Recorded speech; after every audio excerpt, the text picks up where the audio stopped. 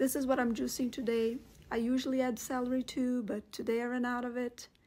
This is enough for about 600 mLs of juice. I have orange, apple, lemon, ginger, cucumber, and kale.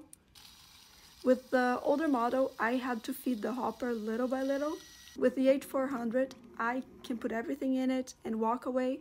It's relatively quiet. The pulp comes out very dry and the juice is delicious, of course. The cleaning process is so much easier. I didn't even need to use a brush. Nothing gets stuck anywhere. And the best part is there's so little waste. I give this 9 out of 10.